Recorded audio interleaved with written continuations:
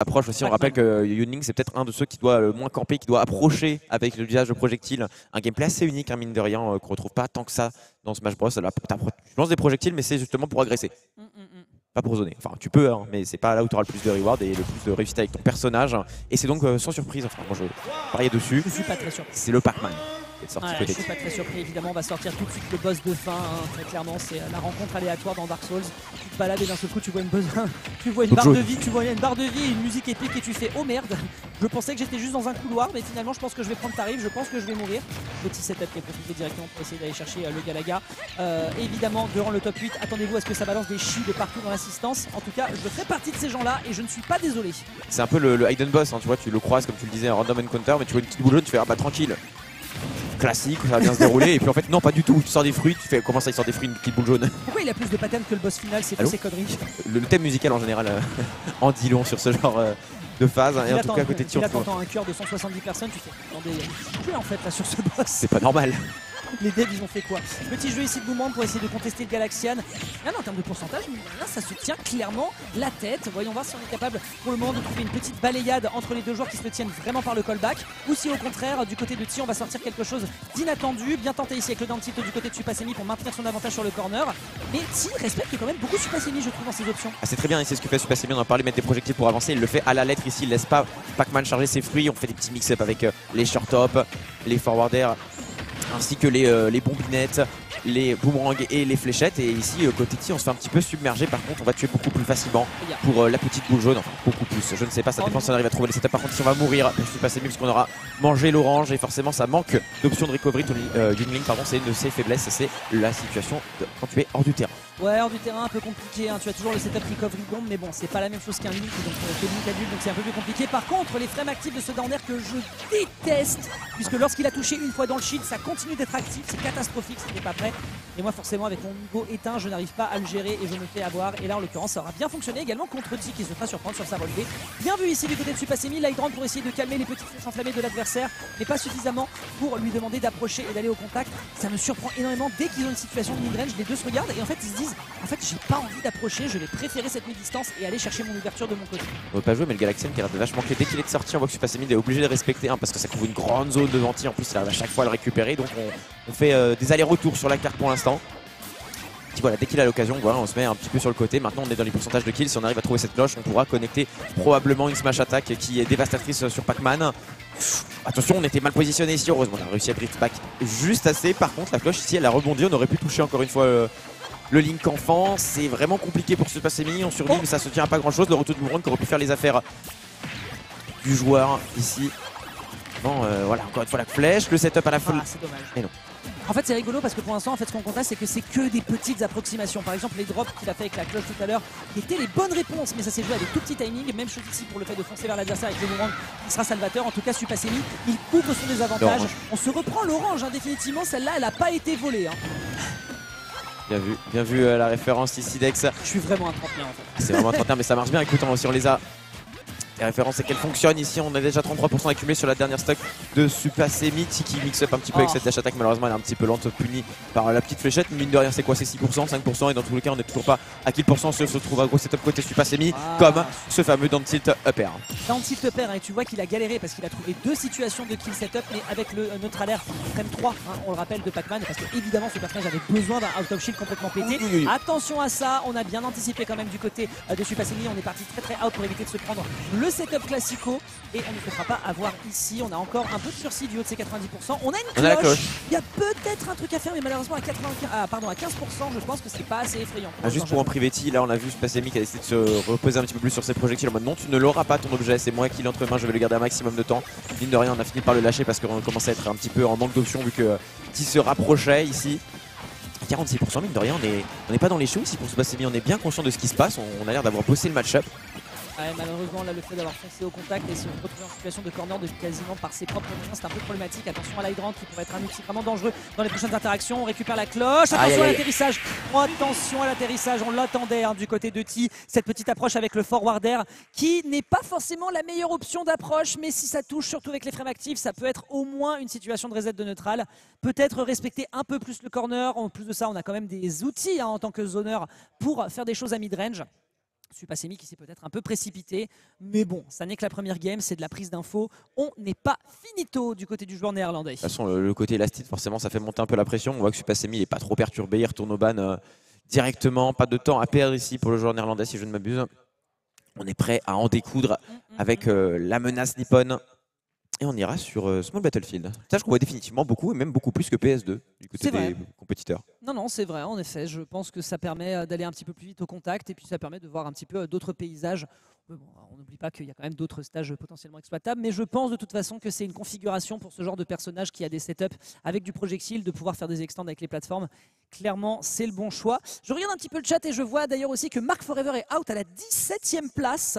Euh, et ben visiblement, Susu a euh, enclenché quelque chose et euh, derrière ça a été clôturé par quelqu'un d'autre. Je ne sais pas qui l'a emporté, peut-être que vous pouvez nous donner l'information. Ce qui veut dire que les titans européens commencent à tout doucement s'amenuire pour essayer d'aller rafler la sésame de la grande finale de cette Ultimate Wanted 5. Et on est parti au sein de cette game numéro 2, le retour de Pac-Man face à... Euh, du coup tu me dis que Marc a été battu par Bear, effectivement, donc c'est un... Ça c'est. Ça c'est bien Manéokan, écoute. Hein. Bear, joueur euh, de, de, Mario et de... de... Plus de banjo. De banjo, je dis n'importe quoi, vous voyez. Mais en tout cas ici c'est pas ce qui va nous intéresser puisque sur le stream on est toujours avec Ti et Soupasemi. La game 2 qui s'ouvre à peu près de la même manière, en échange des projectiles on se gratte, mais si on se gratte de manière à y être even pour c'est Pac-Man qui va tuer avant euh, le Link enfant et on trouve l'attache attaque incroyable, ça ne lag pas, ça, ne lag pas. Ça lag pas, ça lag pas. Ce n'est pas la fin du move le fait qu'il saute à la fin, c'est littéralement un autre move qui est enclenché alors que pourtant il avait tort de faire une dash attack dans le shield de l'adversaire. J'ai envie de me jeter en l'air. J'ai perdu, mais j'ai gagné. j'ai perdu, mais j'ai gagné. Et ça normalement c'est le FP2 qui le dit, mais le FP0 il a quand même des arguments, notamment avec son représentant parfait, qui est Pac-Man, d'ailleurs aussi représenté par, on le rappelle, Mozai qui a fait d'ailleurs un très classement hier et qui a vraiment fait vibrer la France sur le stream d'étoiles. Ici, petite tentative de setup avec la cloche, ça ne passe pas. Et derrière le dernier qui a l'air par contre d'être une excellente option au top shield qui surprend beaucoup le joueur japonais. Ça va vite. On récupère une petite patte gomme pour gratter 2% côté T avec euh, le side B dans l'hydrant, petit setup qu'on connaissait pas forcément pour euh, récupérer un petit peu de vie. Bon, c'est pas ah. instrumental et on récupère à l'autre bout du terrain le F-Smash qui, voilà, on est au même pourcent, mais forcément Pac-Man ça tue extrêmement tôt. Par contre, ici on est euh, concentré côté euh, Super on récupère la rolling avec le neutral air en strongit. On ne trouvera pas la bombe pour avoir le setup de kill sur le two frame. Et on aime bien et mettre ce donner dans les mettre ce donner en désavantage. Ça a l'air de, faire les affaires ici trouver euh, la phase de l'extra. On arrive comme. C'est fou ça. T'es Pac-Man, t'es dehors, t'es tranquille, tu fais Ah mince, je dois revenir sur le terrain, mais t'en profites pour charger sur offensive. Et si on trouve le punish évidemment, ici petit retour de Boomerang tout bombe. On a pris le temps, mais on, savait ce qu'elle allait sortir euh, côté Super Semi, on s'est pas précipité. Non, mais je te jure, j'étais en situation de tension. Je voyais la situation sur le ledge j'avais les ongles qui s'enfonçaient dans mes paumes. Je me suis dit, Allez. va quand même trouver un kill à 150. C'est pas la première fois. Oui, c'est clairement pas le dernier euh, pour tuer Link enfant. Et là, en l'occurrence, petit dégât qui part directement dans l'hydrant. Hein, comme quoi, le feu, parfois, ça peut faire mal à l'eau. Le smash qui sera pas encore létal de par l'absence de rage de T qui clairement, lui de son côté, il n'est pas enragé, il est serein, il est clairement en mode total zen. Il attend maintenant qu'une seule chose, c'est l'erreur d'approche de l'adversaire. Je suis passé mis, on a fait quelques-unes lors de la game précédente. Il pourrait potentiellement les réitérer parce que si on n'a pas le temps d'adaptation, ça pourrait être dommageable. Et là, l'atterrissage sur la plateforme qui est quand même un poil compliqué à gérer. Petit coup d'hydrant qui est proposé de son côté, mais on veut pas approcher. On a beaucoup trop peur de cette petite boule jaune qui pourtant a un grand sourire de psychopathe et qui n'attend qu'une seule chose, c'est de pouvoir prendre la deuxième stock de l'adversaire. De casser la tranche, effectivement. On a eu plusieurs fois côté T euh, à 0%. On sait que côté Super côté Link on aime bien chercher des setups à pack de dance row back mais visiblement on arrive à break à chaque fois avec le up B. On a l'air de connaître cette interaction extrêmement euh, spécifique ici pour T qui en abuse deux fois déjà dans la braquette. On pense qu'on a compris maintenant côté Super Semi. On aurait pu euh, l'avoir tant que ça à zéro du moins. Ok, le setup avec aussi on balance hydrant suivi du boomerang pour récupérer les options défensives. On aura bien gardé le shield côté T. On était au courant, bien informé ici, mais ils jouent vraiment des châteaux. On voit l'expérience de Kazuya qui parle ici les paris, dans tous les sens. T qui est on point. Hein regarde comme il bloque les approches. Tu peux pas être au sol de par la pomme, tu peux pas être en saut et en tentative d'approche de par l'hydrant avec le setup qui est proposé. On est obligé de respecter ça du côté de Supasemi. Et un Supasemi qui peut pas approcher, c'est super sum I. Et malheureusement, c'est un petit peu trop difficile à gérer de son côté. Ceci dit, très très bon setup avec le bah. Mais l'absence de rage. Hein. Je croyais que ça tuait, moi, le Hongrie, qu'on m'a menti, hein, j'étais déçu. Ça tue pas du tout à moins de trouver des setups. Hein, vraiment. Oh, par contre, ici, on l'a trouvé le setup avec la bombe à ledge suivie du forwarder Supasemi qui revient dans la game 0% partout. La stock ici sur cette game 2, on est un peu plus tranquille. Oh, on s'est fait surprendre avec euh, le petit euh, souffle de l'eau qui est venu connecter le Galaxian. 33%. Attention, cette taille, on sait que c'est dangereux. Sait que ça galère à revenir. Young Link, ok, petit multi-jab, on va pas le pousser jusqu'au bout, on essaie d'aller chercher des petits setups en plus sur la plateforme. Par contre, la spot ça punit beaucoup de frame actifs sur ce B. Et c'est pas trop mal ça, on est en train même de prendre l'avantage léger en termes, de, en termes de dégâts. On va pouvoir respecter ici l'approche de l'adversaire avec le forwarder qui est tenté de son côté. On prend quelques dégâts, mais c'est encore un petit peu trop timide. C'est Hydrant qui va mettre quelques dégâts et quelques couvertures. On est obligé d'accepter ici la situation de ledge. Et une situation de ledge en général pour les Young League, c'est clairement la fête à la maison. On va pouvoir bloquer l'adversaire parce que pour atterrir c'est quand même un poil compliqué. Qu'est-ce que tu essayes de faire avec ton Hydrant Avec les frames actifs de mon repère, mon gars, tu vas pas pouvoir faire grand chose. La présence sur le sol par contre de T qui devient un petit peu dangereuse. Il faut profiter de ce ledge trap et ça pourrait potentiellement amener une game à égalisation. Supasemi peut clairement le faire, à moins que derrière du côté de On prend le reversal. C'est dangereux potentiellement côté néerlandais. On a fait avoir des petits SD de cette orange qui revenaient encore une fois potentiellement Oui. sur l'arrivée de ce côté Supasemi. Attention, le setup est en place côté néerlandais. Est-ce qu'on peut trouver le ledge trap On n'a pas déclenché la bombe. Non. On n'a pas déclenché la bombe. On est patient. Le Danner, attention, on va se précipiter. Supasemi, c'est déjà ce qui t'a fait défaut tout à l'heure. C'était déjà une situation potentielle de la steed. Ouh là là, la cloche, on a transpiré ici. Ok, bien. Ok, on la perd. Il va changer d'item, il va changer d'item à ces pourcentages-là. Il a voulu miser sur la pomme, semble-t-il. On bloque l'adversaire avec un down tilt. Malheureusement, on partira pas sur le terrain. On va préférer accepter la situation pour éviter de se prendre le upper. hein. Donc forcément, la meilleure réponse, c'est le saut. Très bien vu ici sur ce forward tilt qui va mettre énormément de dégâts. On va perdre l'hydrant ici. La bombe, malheureusement, ça aurait pu potentiellement aller chercher un setup. Ça se joue maintenant à quelques approximations. On n'a pas le temps de récupérer la cloche. C'est dommage du côté de T qui va se mettre dans une position assez la dommageable. On va avoir l'occasion potentiellement de revenir. On va empêcher le rap ici. Il n'y aura pas euh, de mimir du côté de T, ce qui fait qu'on n'aura pas l'occasion de punir. Par contre, ce backer, me semble-t-il, va être létal et va permettre aux joueurs néerlandais de rappeler à l'adversaire que, ok, t'es le roi de l'Europe, mais dose, il y a des contenders qui t'attendent. Et quel contenders ici, on était très patient côté Supasemi. On a vraiment déroulé le plan de jeu à la lettre, malgré le fait que T ne soit pas en reste. hein. On était vraiment en situation de last des deux côtés à cause de la différence de puissance de kill. Mais là, Supasemi ne se laisse pas faire le counter pick de map qui a l'air d'avoir fonctionné, réduire un petit peu la taille de cette plateforme centrale, trouver les setups avec euh, les deux plateformes. Je pense que ça réussit effectivement mieux au personnage de Link Enfant. Évidemment, avec le chat qui est en train d'être envahi de Suisse, hein, je vois évidemment le poteau Smurf dans le chat euh, à qui je fais un énorme check. Euh, côté Team LS, on est en train de surveiller de très très près le champion qui a mis une première game à T. Prendre une game, c'est bien. En prendre deux de plus, ce serait Exceptionnel. phénoménal, exceptionnel. On a déjà un japonais en loser side avec Rehan qui a réussi à faire l'upset de nulle part avec un misfire. Je, je- On s'en remet pas. hein. Écoute, j'ai pas d'explication. La dernière interaction, vraiment, on s'en remet Non, pas. hein. mais je veux dire, je, je pense que je vais prolonger ma thérapie après ce, après ce misfire, je pense. Mais en tout cas, du côté du joueur de la team ELS, on a. Écoute, on a les outils. On a les outils, on vient de le prouver. Il faut être constant et mettre l'adversaire en situation de difficulté pendant encore deux games. Et mine de rien, ça reste quand même compliqué face à T, qui lui, de son côté, a tâté du top mondial. Et euh, parfois, jusqu'à en faire son goûter. On va s'en goûter, Tiki prend le temps, il mange des fruits. Restez healthy, prenez de l'eau. Euh, la température aujourd'hui qui est en, en augmentation en ce dimanche un peu partout en France. Si euh, la météo ne me trompe pas, merci euh, Evelyne Delia. Clairement. Et on a euh, fait un petit changement sur le setup. On se réinstalle tranquillement côté T. On prend la, pause. Non, on prend pas la pause du Kazuya. On reste tranquillement installé. On se rapproche de l'écran. Mieux voir venir les projectiles. Mieux se mettre en place pour le joueur japonais. Et on rentre dans cette game numéro 3. Euh, T qui comprend que ça va pas être facile. En tout cas, qui, qui euh, voilà, va accepter, euh, qui va devoir accepter l'idée que son adversaire a des arguments. On va devoir respecter un peu plus les options à Young Lee. De toute façon, si tu fonces contre un zoneur en général, tu sais que tu vas avoir des problèmes parce que forcément il t'attend au tournant. Petite tentative de jeu directement avec le Galaxian, ça prendra quelques dégâts. Regarde ça, il n'a pas eu le temps de gérer la première approche, il se prendra la deuxième, ça prendra quand même 36% dans l'échange. Au cas où vous en doutiez, euh, ça fait des dégâts ce personnage de Pac-Man. Il a essayé d'aller chercher un setup à base de, Ish, faire un wall pas de pas. On a, il a fait un ledge, enfin, on va dire un petit setup au ledge avec wall jump into obi pour essayer de dégager ce Passemi au cas où il voulait euh, couvrir la neutral get up. Malheureusement, c'est un petit peu loupé sur le timing. Côté T, par contre, j'aime beaucoup le counter pick de la map ici qui va permettre beaucoup plus d'avoir beaucoup plus d'espace pour T pour pouvoir s'exprimer avec son Pac-Man, avoir plus de temps pour charger les fruits. Mais côté c'est Passemi, tant qu'on arrive à maintenir la pression à ce ledge avec le setup, la flèche qui renvoie dans la grande, ça peut être très compliqué. On peut partir très très tôt sur les côtés. Par contre, ça bénéficie aussi au kill power de Young Oh dommage, on se prendra le deuxième hit derrière, il n'y aura pas de prolongation, mais euh, c'est rigolo, ça a commencé du côté droit, ça finira du côté gauche, comme quoi une map large malheureusement face à du zoning, c'était malheureusement trop compliqué à gérer, on va se débarrasser de la bombe, évidemment les deux joueurs savent quoi faire en matière de gameplay. Je suis assez surpris par contre de voir un T qui fait des setups avec le Galaga à si haut pourcentage. Après écoute, c'est lui qui tient la manette, donc clairement il a une idée en tête. Voyons voir si ici sur ce down tilt on peut se redébarrasser de l'hydrant, on ne peut pas, on va être obligé de le respecter, mais malheureusement pas suffisamment. La qu'on se fait un petit peu euh, couper ici. Attention les pompiers, il y a une maison qui brûle, la grande question c'est est-ce qu'elle est japonaise ou néerlandaise Ça va se jouer dans les prochaines interactions? On avait Supasmi très intelligemment qui a anglais son shield parce qu'on sait que la cloche ça peut shield poke. On récupère le forward smash ici pour le champion néerlandais. Le- L'Europe n'est pas en reste, elle le montre ici, récupère la première stock dans cette game numéro 3. Tiki, un petit peu de haut mur, on irait carrément chercher la clé. hein. Lui qui dit euh, là, Tant que c'est pas foufou, euh, le grab on rappelle qu'il récupère autant à l'aller qu'au retour. Et ici il viendra euh, récupérer la, la spot dodge de Supasemi qui va quand même gratter une petite phase à 19%.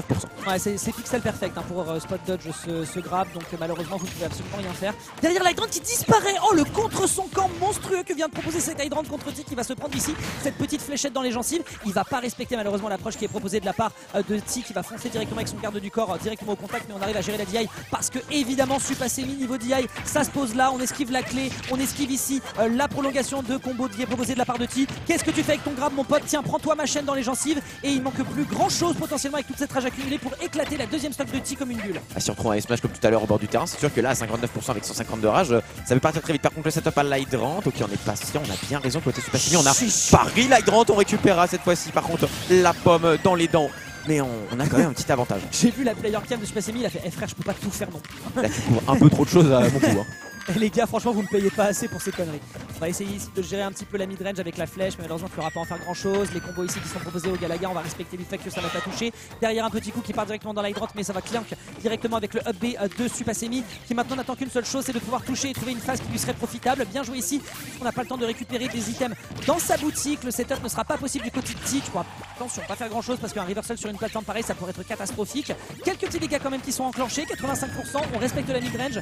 C'est trop compliqué, regarde comment T grade, bon sang, on remet le compte à l'équilibre en une phase. Tellement de pourcents grattés alors qu'on avait tellement bien respecté les, les petites phases de Light Run pour maintenir la phase de Trap. On a vu que Thiel avait posé un désavantage avant de retourner au bord du terrain afin de Ah gratter la position. Par contre, le Hubby qui déconnecte, c'est scandaleux. Ici, on prendra la cloche F smash. Il n'y avait aucun counterplay. Le Bifi malheureusement qui aura été dommageable ici pour le joueur néerlandais qui va devoir accepter que là malheureusement la neutralité suisse de sa structure là je suis désolé il faut partir en agressivité tu vas devoir choisir un camp et le camp de l'agressivité de la violence choose violence dans ce type de configuration sinon Ti de son côté il va débarquer avec son regard zen et après il va regarder la caméra en mode oui c'est moi qui lead vous croyez quoi? Une autre déconnexion ici sur ce forward air. Côté Super on essaie de de la roll-in. On va prendre le petit combo de Pac-Man. Le père, on récupère le center stage pour le joueur japonais. Heureusement, le trailer qui va dans la bonne direction ici pour Super Semi. Potentiellement sur un. qui- Oh, on a été très très loin à côté de On a pris. On a fait non, vas-y, je pars en vacances, je prends le temps sous le terrain. Moi, y a pas de problème. J'ai plein de manières de recover. Euh, Bon, écoute je suis en vacances en France euh, tranquille je prends mon temps chill Regarde, on fait la petite visite de, de la ville d'Animal Crossing. Derrière, en arrière-plan, on, on voyage bien ici. Attention, la Falcon pour récupérer 2% peut-être. Et oui, C'est oui. récupéré air. C'est une data absolument utile sur euh, Smash Bros. On va récupérer ici Dormer qui est en situation kill à 163%. C'était un bon choix de stage hein, de toute façon avec un plafond aussi haut pour justement tenir dans des situations où quand même on tue beaucoup plus par les airs. Sauf si on a l'occasion d'aller trouver un, me semble-t-il, cancel forward tilt après ce dash. Très très bien joué ici euh, de la part euh, du joueur néerlandais qui remet les comptes à l'équilibre. C'est possible, c'est définitivement possible pour le joueur de la team ELS. C'était un setup zère dash attack afin de pouvoir profiter des frames actifs de la burst option qui sort plus rapidement que le F-tilt. C'était très malin de la part de. Super qui arrive à re-even les pourcents. Surtout en NCT, on a Cupti dans le coin. Est-ce qu'on peut en profiter un petit peu de cette position avantageuse pour le joueur néerlandais? On attend, on récupère le Galaga, Oh. quelque chose qu'on voyait pas beaucoup au début. Et ça gratte fortement les pourcents. 71 ici. Ça grimpe progressivement mais sûrement. Regarde. regarde la tension là, moi je commence à avoir du mal à respirer. hein. On voit la tension là qui est proposée avec surtout ici l'Hydrant qui va aller en défaveur malheureusement de T qui va devoir accepter la situation sur le ledge trap. On va prendre beaucoup de projectiles dans le shield, beaucoup de shield pressure qui est proposé ici du côté euh, de la Suisse par le joueur néerlandais. Un petit peu de pression ici avec l'Hydrant qui va revenir Alors. dans le tas. On prend évidemment le pari parce qu'évidemment on joue un choto donc forcément on doit respecter l'école. Et là, regarde ça. Il essaye depuis tout à l'heure d'approcher, il ne peut juste rien faire et pourtant il a l'avantage, c'est à Pac-Man d'approcher. Mais Supasemi prend quand même le pari de gérer l'approche, de gérer son agressivité. Et pour le moment, certes, ça fonctionne, mais il faut tuer l'adversaire. L'Hydrant qui fait un gros contre son camp, on prend tous les jours. L'Hydrant qui fait des contre qu'on depuis tout à l'heure côté Super Semi. On voit Ah énormément de bons pour la contrer cette dernière. Attention, la flèche à la cloche qui est très Et dangereuse. ouais, Oh, la fait rentrer dedans. Ouais, le pire, c'est qu'il a voulu faire du retreat, c'était un petit peu dommageable. Mais euh, on a vraiment ce setup, on attend que T mette le back air et juste après, une fois qu'Adrant a décollé, on arrive à mettre la flèche et ça gratte beaucoup de pourcents. Cette stock, le double fer qui connecte, Super Semi prend la game 3, on est potentiellement à une game de sortir T du winner side, T qui secoue la tête, c'est compliqué ici. Eh ouais, mon gars.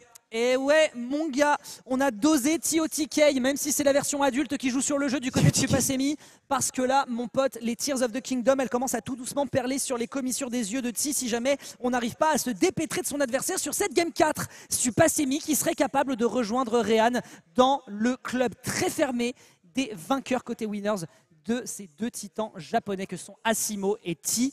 Après, évidemment, ils ont la possibilité de remonter du loser. Mais en tout cas la performance serait déjà exemplaire parce que prendre un upset sur T, c'est un top de carrière. Ah, il me semble que même si tu cumules avec les gens qui ont upset euh, des japonais l'année dernière lors de Ultimate Wanted 4, il n'y en a pas des masses hein, parce qu'on avait vu une finale totalement japonaise avec euh, Shuton Sacré. Bon, Goudou Takera en vrai on se régale aussi. Oui, voilà. bon. Gros gros respect à Goudou qui d'ailleurs est dans le bracket, je ne sais pas ce qu'il a fait cette année. Mais euh, pour le moment, on va se concentrer encore un petit peu du côté des Néerlandais face aux joueurs japonais qui maintenant pour l'instant a quand même une belle avance en termes de pourcentage. Attention à cette approche ici qui était quand même un petit peu dommageable. On récupère, rappelle-moi, 2% c'est ça hein 2% environ. Ouais. Par contre, on n'a pas suivi la trajectoire de la Fat Gomme. On a vu qu'il remontait dans le terrain et pourtant le Pac-Man a continué tout droit. C'était étrange. Après, euh, Je pense que c'est parce qu'on a clank dans la, dans la grande. après si c'était pas un party game, on serait quand même au courant, tu vois ce que je veux Ah, dire c'est quand même un très bon party game. Mais alors, T, par contre, il a l'air de maîtriser les aspects du party game pour euh, choisir sa trajectoire de la sorte. hein. Oh, le retour du boomerang qui sera un petit peu salvateur pour couper euh, Kurokubo de Pac-Man. Oh, l'angle du F-tilt qui est absolument fantastique ici pour, euh, pour T qui, après l'avoir setup au neutre air, par contre, on a la cloche. Voilà, on prend le temps, on setup avec euh, les Oh spéciaux. Non non, on n'aura pas le père. Bon, au pire, c'était pas le kill ici, c'était que quelques au pourcents. On n'a pas le droit au bonheur. Par contre, on a droit au ledge trap ici, côté Supasemi, joueur ELS qui fait parler la science. Attention. Il savait qu'il y avait le trampoline. En vrai, moi je trouve que c'est vraiment gros gros brain move. On va pouvoir clank directement ici sur les impacts avec l'Hydrant pour revenir sur le bord de terrain. Mais vraiment, le fait de prendre autant de risques contre les Japonais, de toute façon, c'est une nécessité. Malheureusement, trop de risques, et ben on s'en mord les doigts.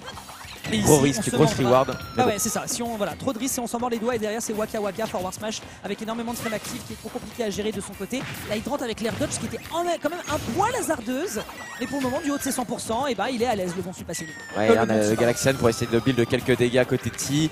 On prend son temps. Forward air, on a le début des embrouilles pour se passer parce que là, T, elle a juste à jouer extrêmement défensif, gratter les pourcents, gratter les meilleurs items. Et à le public. 105%, tu peux pas encore récupérer les- le public qui nous régale avec le bruit des Galaxian effectué en direct dans la foule pour donner plus d'impact au coup de T. Ici, on essaie d'approcher tranquillement en shield. Oh, on clanque avec le premier coup, mais le deuxième sera récupéré. On est, ça dit box vraiment folle.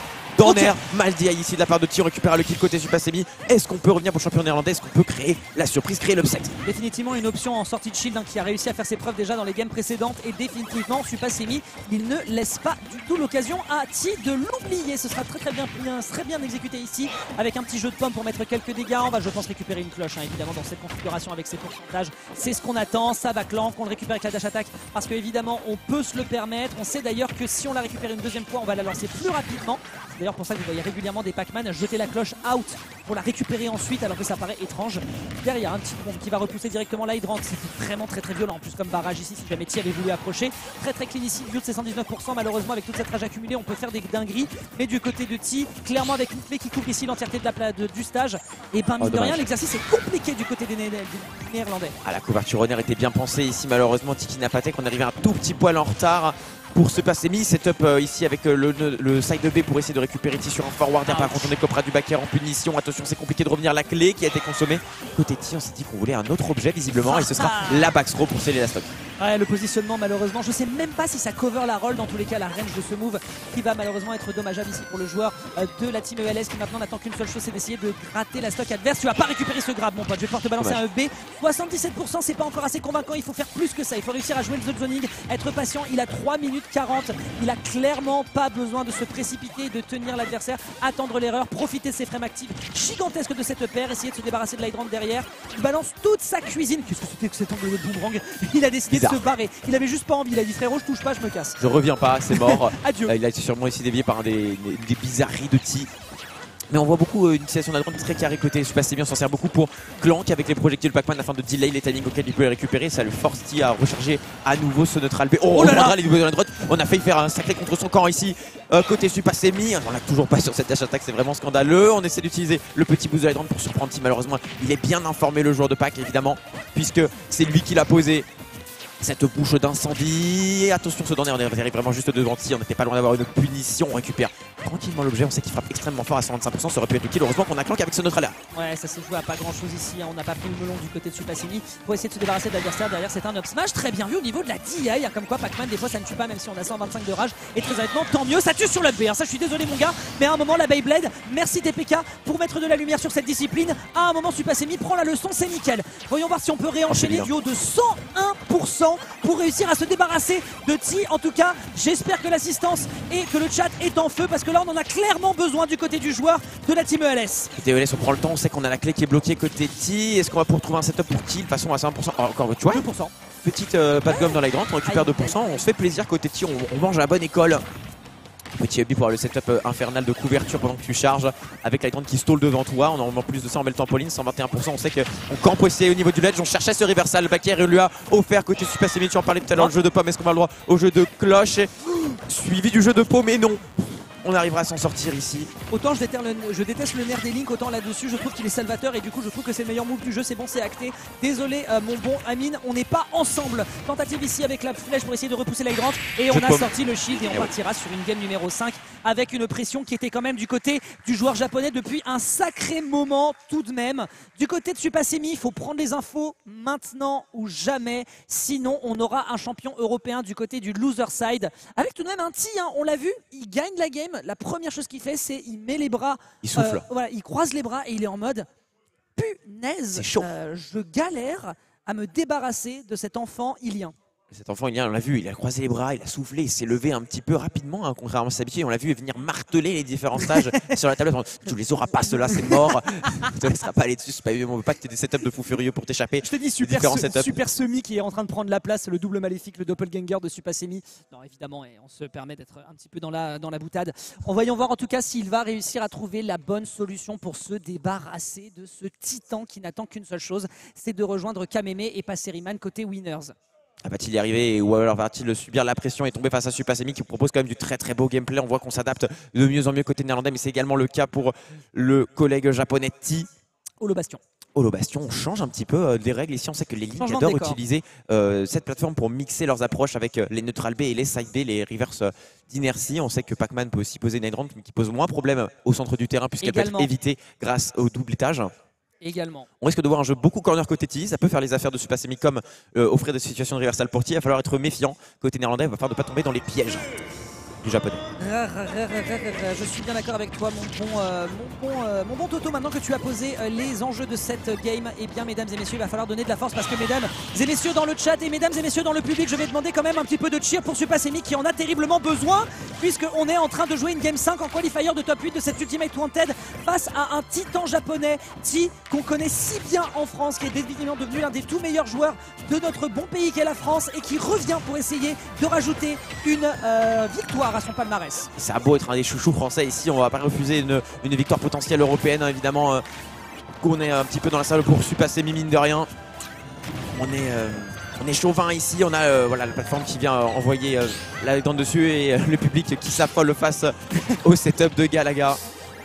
On est renvoyé de l'autre côté de la grande. Heureusement, on peut la casser vite grâce à ce En vrai, c'est une réponse de fou furieux afin de laisser, euh, pas laisser le temps à T de charger. Le bon qui est parti derrière, ce qu'on a vu côté T Non, visiblement, puisqu'on récupérera avec ce backer super semi le nerf qui était à deux doigts de connecter. Malheureusement, on a drift back tout poids trop tôt. Ouais, c'est dommage. Ici, on va pouvoir se débarrasser. En fait, il se débarrasse assez facilement de grande. Je trouve que c'est euh, une, bonne, bonne chose à avoir en tête. Et surtout, information aussi intéressante, c'est que si jamais les deux sont vraiment très proches au niveau de la et que T est un petit peu committee, et ben derrière l'extension d'Hitbox avec l'Hydrant justement peut aller en faveur du joueur néerlandais. Donc ça c'est vraiment une data à garder potentiellement en tête. On se joue le plus euh, subtil et le plus imperturbable possible du côté de T. On a la cloche, c'est clairement à euh, Supasemi d'aller au contact. Mais quand même prudence parce que voilà, si jamais il se fait toucher, il sait très bien a de perdu, il n'a pas le temps de réagir. Grosse, euh, grosse bah, problématique ici, on a été chercher un backer tellement dit pour Je vais fermer ma gueule. oh ça va, on s'en sort. Non. Merci pour la Caster Curse Dex, tu la maîtrises toujours aussi bien. Toujours là pour servir. Comme il y a quelque chose de assez scandaleux avec cette Hydrant. Quand tu vois un joueur qui arrive à la, de Pac-Man qui arrive à la casser avec son Rising forwarder, il faut savoir que derrière il y a le backer qui une fois que t'es lock euh, dans euh, l'Hydrant tu n'as pas le temps de punir. Par contre on trouvera le forwarder malheureusement le kill power de Link Enfant qui euh, fait défaut ici sur cette map. C'était un petit peu le risque ici pour se passer de galérer à tuer le Pac-Man. Mais ce Danner il est toujours dans les débats. Supasemi à ne pas enterrer trop vite ici. Non, très clairement, hein, ça a beau ne pas être l'épée de légende. Quand tu la plantes dans un rocher jaune comme ça, bah forcément, ça va faire des dégâts absolument monstrueux. Petit forwarder, forwarder derrière, il n'y aura pas de Wall of Pain certes, mais c'est déjà assez violent en termes de dégâts accumulés. Une petite, trentaine de pourcents, c'est déjà un petit démarrage. Du côté de son adversaire, attention à ce whip grab, hein, ça reste quand même très très lent. Et forcément, la punition peut être récupérée. Très très bons dégâts qui sont récupérés ici avec un autre paire. Est-ce qu'on peut choper l'adversaire en situation de juggle? Non, quelques répliques qui est récupéré, mais 86 à 15%. Malheureusement, la couleur est déjà annoncée, je pense, sur cette game numéro 5. La couleur est celle du pays du soleil levant pour se passer mais c'est pas forcément bon signe puisque le rouge signifie être un peu plus proche de la mort à chaque instant. Par contre, on trouve des petits setups de combo côté Supasemi afin de regagner un petit peu euh, les pourcents. On n'a pas été confiant côté Tian, on n'a pas voulu profiter de l'eau afin de utiliser le grab. On utilise cette dash attack pour couvrir la plupart des rôles. Heureusement, on aura la seule option côté Supasemi afin de pouvoir remonter tranquillement, sinon on aurait été poussé dans la cloche. Oh, plus, il est trop fort là, le fait de se positionner ici et d'éviter la pression que lui propose l'adversaire avec la cloche. Attention, ça, ça pourrait être très très dommageable en fonction de l'atterrissage que tu proposes. Ça reste quand même laggy euh, d'atterrir avec le down air du côté du Youngling. Donc attention quand même, petit. Oh, S'il y avait eu un drop après euh, cette, trop fou. cette spot, cette, ce, ce, ce ça aurait été catastrophique. Petit upper derrière après le backer, ça c'est plutôt intelligent pour prendre un petit peu de situation de chip poke. Mais ça fait une minute qu'il est avec sa cloche. À un moment, il serait temps de la sonner parce que là, ça commence à bien faire. C'est vrai que là, on est très patient côté. Heureusement, Et elle on la perd se protéger. C'est ok. C'est ok, on est bien côté Supasemi, on est très patient. On voit que côté Tic, quand il était sa petite danse avec la cloche, on avait même vu utiliser des animations de Pac-Man qu'on ne connaît pas de feinter la projection. On a notamment vu des crouches. Non, Ouais. côté Supasemi, on peut pas se permettre ce genre d'approximation. Attention, on a sorti du ledge trap grâce à cette petite erreur néerlandaise. Par contre, rien n'est fait. Toujours ce deuxième stock, 82% à 112. Lastit face à pas vraiment Lastit hein, côté Tio, puisqu'on a un petit peu plus de poids. La, La clé, clé. Qui est mangée de la part Supasemi, heureusement et- la bonne vieille. Et également gros plays, gros plays de Encore. sa part, ça c'est scale. Gros plays de sa part, il a caché un petit peu la cloche dans la plateforme, ce qui fait que c'était pas forcément facile d'anticiper le move qui allait apparaître. Et évidemment, les frames actifs de la pomme qui vont être dommageables ici. On n'oublie pas, hein, One Apple Away keeps a Super Semi Away. Et forcément, ça va être très très utile ici pour le joueur japonais pour potentiellement s'occasionner une victoire en direction du winner side. Mais clairement, on n'a pas dit son dernier mot du côté des Netherlands. Ça se ressent ici dans l'auditorium, autant que dans le chat. Il faut lui donner de la force. C'est maintenant ou jamais. On a vu Supasemi un petit peu tilté par cette pomme tout à l'heure, Ah, mais là. il a repris son calme visiblement le joueur néerlandais. On l'a vu euh, un petit peu approximatif sur le début de sa stock. Heureusement, on n'a pas eu de grosse punish côté Tic, donc on a pu regagner son sang-froid. ça. Petit nerf dans l'hydrant. Est-ce qu'on peut récupérer le kill sur sa page off C'est d'aller chercher assez deep. Heureusement, on a la bombe pour revenir. Ok, c'était bien pensé de la part de Supasemi, ça n'a pas suffi. Oh ça va, on était très très bas et on va pouvoir rebondir avec le trampoline, mais tendu, terriblement tendu. Mais il tente tout, il tente tout ce qu'il a dans son arsenal pour se débarrasser de T. De toute façon, il a pas le choix parce que là, doucement mais sûrement, sa cuisine elle commence à se vider. Le buffet il commence à être un petit peu froid. Il va falloir trouver quelque chose pour justement trouver de l'ardeur pour mettre La l'adversaire cloche. à l'amende. Cette cloche qui ne fonctionne pas, il a pas le temps de la récupérer. 95% déjà sur sa dernière stock. Est-ce que c'était là la limite du joueur néerlandais? C'est une possibilité, mais il a pas dit son dernier mot, à moins que. Aïe aïe aïe, le drop. Magnifique Tic qui n'avait pas réussi à lâcher ce setup depuis un moment. Côté si on avait bien respecté mais on a fini par se faire avoir. Et oui on dort ici mon cher Dex mais c'est bien, bien le Japon qui s'impose et qui passera en top 8 côté winner Tic qui repart rejoindre ses comparses. Suite à une game encore une fois très disputée. 1-3-2 on était à ça pour l'Europe. Ouais, je suis dégoûté, mais bon, bah évidemment, un T